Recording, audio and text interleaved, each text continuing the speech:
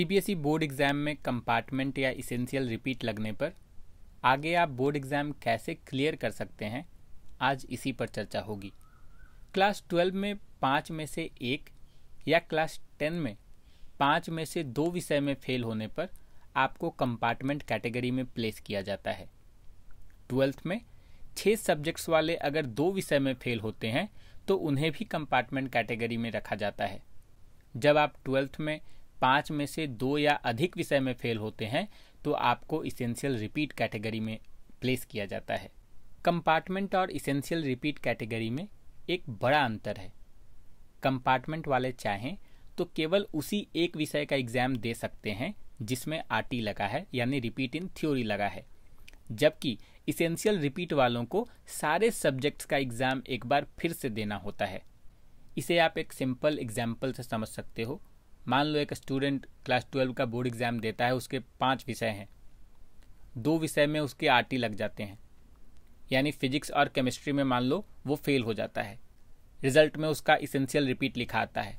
इसका मतलब ये है कि अब उस कैंडिडेट को अगले बोर्ड एग्ज़ाम में, इन दो सब्जेक्ट के अलावा बाकी के तीन विषय का एग्ज़ाम भी फिर से देना होगा। यानी नेक्स्ट बोर्ड एग्ज़ाम में उस स्टूडेंट को पाँचों विषय के एग्ज़ाम फिर से देने होंगे। अगर आपने 2023 में स्कूल से as a regular student exam दिया है and now you have been placed under compartment और इसेंशियल रिपीट कैटेगरी तो बोर्ड एग्ज़ाम को क्लियर करने के लिए आपको प्राइवेट कैंडिडेट के रूप में अप्लाई करना होगा। एज प्राइवेट कैंडिडेट हर वो छात्र सीबीएसई बोर्ड एग्ज़ाम के लिए ऑनलाइन अप्लाई कर सकता है, जो कि पहले एक बार as a regular student exam दे चुका है। 2024 के लिए जब भी प्राइवेट कैंडिडेट्स का फॉर्म आएगा मैं एग्ज़ाम सब के टेलीग्राम चैनल पर उसका लिंक शेयर कर दूँगा। अगर आपने हमारे टेलीग्राम चैनल को अब तक ज्वाइन नहीं किया है तो वीडियो के डिस्क्रिप्शन में लिंक मौजूद है, आज ही से ज्वाइन कर लीजिए। प्राइवेट कैंडिडेट्स का एप्लीकेशन फॉर्म आप खुद से ऑनलाइन भर सकते हैं स्कूल का इसमें कोई रोल नहीं होता है। कंपार्टमेंट कैटेगरी वाले चाहें तो केवल उसी सब्जेक्ट के लिए अप्लाई कर सकते हैं, जिसमें आरटी लगा है। अदरवाइज़, फेलुअर और इसेंशियल रिपीट कैटेगरी के अंतर्गत आप फिर से सारे सब्जेक्ट्स का एग्ज़ाम भी दे सकते हैं। इसे भी आप सभी एक एग्ज़ाम्पल से समझ सकते हो। मान लो कि एक student class twelve board exam में फिजिक्स में फेल हो जाता है। बाकी सभी विषय में वो पास है। ऐसे सिचुएशन में उसके रिज़ल्ट में कंपार्टमेंट लिखा आता है।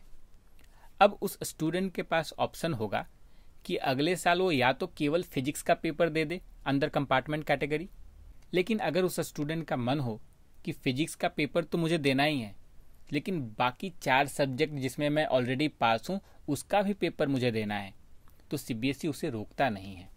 इस कंडीशन में वो स्टूडेंट अंडर फेलुअर कैटेगरी और इसेंशियल रिपीट कैटेगरी सारे सब्जेक्ट का एग्ज़ाम एक बार फिर से दे सकता है। अब मान लो अगले साल वो स्टूडेंट सारे सब्जेक्ट का पेपर फिर से देता है। फिजिक्स का पेपर क्लियर भी कर लेता है, लेकिन इस बार वो केमिस्ट्री में फेल हो जाता है। उस सिचुएशन में आप ये मत सोचना कि आपके लास्ट ईयर वाला केमिस्ट्री का मार्क्स कैरी फॉरवर्ड हो जाएगा।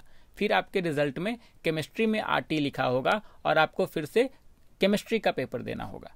ट्वेल्थ में अगर किसी के छः विषय हैं और दो में आरटी लगा है तो कंपार्टमेंट कैटेगरी में एक बार में किसी एक ही पेपर का एग्ज़ाम दे पाएँगे। वरना आप फेलुअर कैटेगरी के अंतर्गत सारे सब्जेक्ट्स के लिए एक बार फिर से अप्लाई कर सकते हैं।